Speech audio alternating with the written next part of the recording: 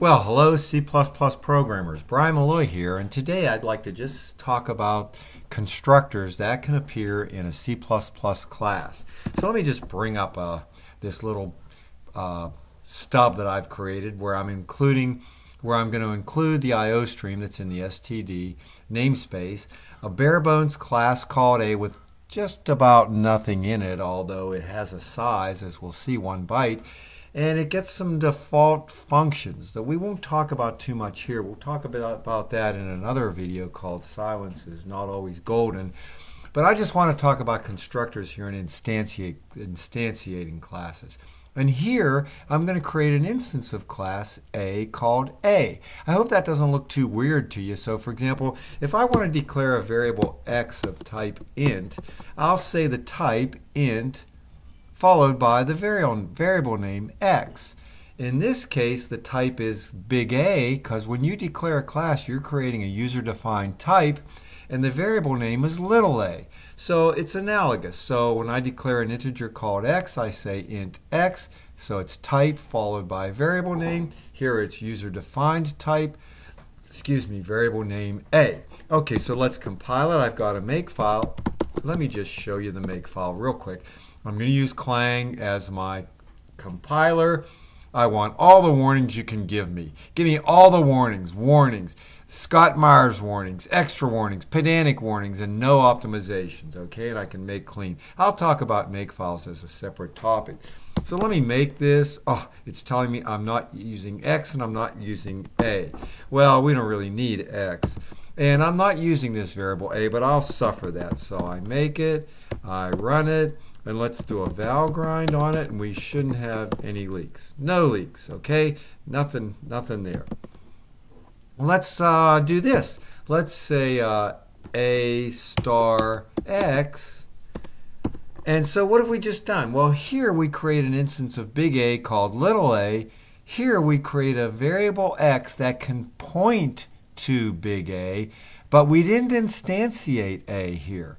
So really all we've done is we've created an, an object little a of type big A, and we've created a variable that could point to an object of type A, but does not. However, what I can do is I can say x equals new a. Oops, let's just put one. Okay, and now let's see what we've got. Okay, so we've got now we've got two big A's, one on the stack and one on the heap. And the problem is that when I do a new, I got to do a delete. So let me get out of here for a minute. Let me say get out. Let me make it. So I'll type make. Warning, unused variable x. I, haven't used either of these variables. We can use them later. And let's run it, no problem. Let's run Valgrind, and we see we have one byte lost. Okay, definitely lost. Why? Because if I knew it, I gotta delete it. Now this is kind of dumb, I guess, uh, guess but uh, now I'll make it. Uh, now I'll Valgrind it and you'll see that there are no bytes lost. Okay, so I guess what I'm talking about here is how you instantiate a class. One way is to instantiate A on the stack, and when you instantiate it on the stack, the storage, the, the instance is automatically created and automatically deleted. I hope to show you that in a minute. And here I have to manually create this instance of A that X points to using my new. And if I knew it, I got to delete it. If the programmer makes it, he, he has to get rid of it. Here, the compiler makes it for me on the stack. Okay, so let's not talk about this too much. Let's talk about constructors. Okay, how many constructors are there? Well, there are three different kinds of constructors. Let me just show you that I'm going to have a public section and a private section. And in here, I'll have an int uh, n. Okay? And now I want to have some constructors. I'll have a default constructor. Okay? And in my default constructor, um, I'm sorry, I'll give a the value 0. And then I'll have a uh, conversion constructor. Oh, let me call this number just so this is okay. And now I'll do that here and I'll do that uh, here. And here I want to give number the value n. And then I want to make a copy constructor. So const a ampersand A, and number gets A dot number. Okay, there are the three kinds of constructors. Default constructor takes no parameters. It gives it gives all the data attributes default values, something reasonable like zero. Here I have a conversion constructor which converts this number n into an a, and here I have a const copy constructor that, that makes a copy of a uh, A's values and sticks it in whatever I want. Okay, so how do I call these guys? Well, I'm going to say this one's going to call the default constructor. Um, this one is going to call the conversion constructor. And this one's going to call the copy. So this is default, convert, copy. All right, let me just show you. How do we know that's going to happen? Well, we'll have to do this. std colon colon colon c out default. I got to get this right. And this will be, uh, let me do it again. I just don't want to type. So this one will be copy, and this one will be convert. I want you to see that they get called. So what's my output going to be? My output is going to be default, convert, copy. Okay, so let's make it, let's run it, default convert copy. So there we have it. So what have we got? Three kinds of constructors. Here I'm going to call them. I'm going to call this a different way. Okay. What do I have now? I've changed this. This is still default. Default because I'm not passing any parameters. This is conversion. Okay, B, I'm going to use the conversion constructor. I'm going to convert this 7 into an A. All right, here, this is the copy constructor. If you're thinking this is an assignment operator, forget it. Not even close. Get that out of your head. You are dead wrong. This is going to be a copy constructor. How do I know? Because my output's going to be default convert copy. Let's try it. I'll make it. I'll run it. There it is, default convert copy. So those are the three constructors. Default convert copy. And this video is really about constructors. How do I make these guys? All three of these are on the stack. Um, what else do I want to talk about? Oh, let's overload an output operator. We're kind of bored, aren't we? So let's put uh, an int get number. It's a const function, return number. Okay, and now I could actually print one of these guys and get something interesting. I could say std colon colon c out c dot get number std colon colon endl.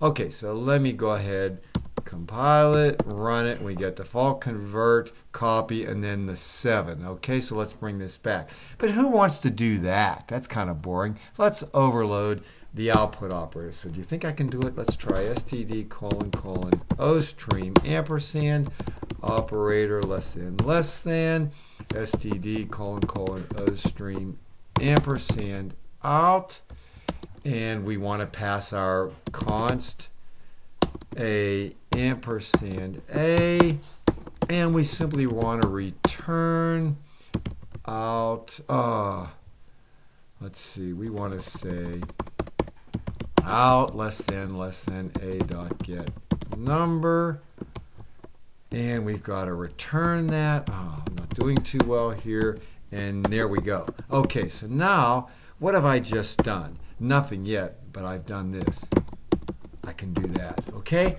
so I'm going to see out let me just go ahead and show you that this works. Let me get out of here and make it, run it. There we go. And how does it work? Okay, so what have I done? I've fixed this. I've overloaded output. So what do you mean by overloading output? Well, I'm going to supply to this. This is, okay, the name of this function is less than less than. That's what I'm using right here, less than less than. But I've got to announce to the C++ compiler that this right here is an operator. It's not, you know, I don't want to, it's not a template declaration and it's not a bit manipulation. It's, it's an operator less than less than, which means the O stream, the output operator. I'm going to return an O stream so that I can, you know, push all of these things into the less than less than. So I'm going to stick that in there and stick that into the. So I'm going to put a, an ENDL, which is the new line, into the output stream. I'm going to put C, uh, I'm sorry, A, this instance of A into the output stream, and I'm going to use C out. Okay, and what do I do up here? Well, I could supply any O stream like a file output, and I want to, and this here's the signature. It looks funny, doesn't it? Let's rewrite this. Can I rewrite this? Let's rewrite it like this. STD, can I do this? Oh, why am I playing around? C out. Wait, I want to say, let's see, can I do this? Uh, operator less than less than. Am I screwing up here? I'm probably screwing up. How do I do this? I want to show you. So what I'm trying to show you is this is kind of like, uh, let me rewrite this. Um, okay, I'm sorry. Here's what I'm trying to do. I want to show you that, um, what am I doing here? What I'm doing is this. I want to call this operator less than less than, and I want to pass C out, and I want to pass C. Does that make any sense there? Does that make any sense at all? Okay, now what am I doing to myself? Let's come over here and see if this even compiles. No way, it does compile. Let's run it. And it works. How can that be? Let me make sure. I'm going to make clean. Okay, do an ls. Show you nothing's there. I'm going to make it. It does work. How can that possibly work? Okay, let me match this to that. Okay, the name of this function is operator less than less than. How do I call a function? I use its name. What parameters does it take? Well, it takes an output stream, any output stream. I'm going to pass it C out because C out is an output stream. And then it takes an instance of A by const reference. My instance of A is that one right here that I created with the copy constructor. Pretty cool, huh? Uh, but nobody wants to write it like that. That's no way to write it. So we, C++ provides some syntactic sugar, so I can say uh, that. Okay, and that does the same thing. Okay, so that does the same thing. Let me prove it to you. I compile it, I run it, same deal. However, I want to string these things together so I can say, yeah, and now put an ENDL at the end. Okay, so this is, uh, how does this, oh, wait a minute, wait, that's no good. Let's, I mean, it would have worked, but let's not do that. Okay, is this left associative or right associative? I think it's right, left associative. So into the output stream, we first put C, which calls this function and gives us the number, and then we put the new line in there. Let me compile this run it. I don't know. I hope this helps. What I wanted to talk about is constructors. There's three of them, and I wrote an overloaded output operator just for good luck. Brian Malloy, happy programming to all of you. Over and out.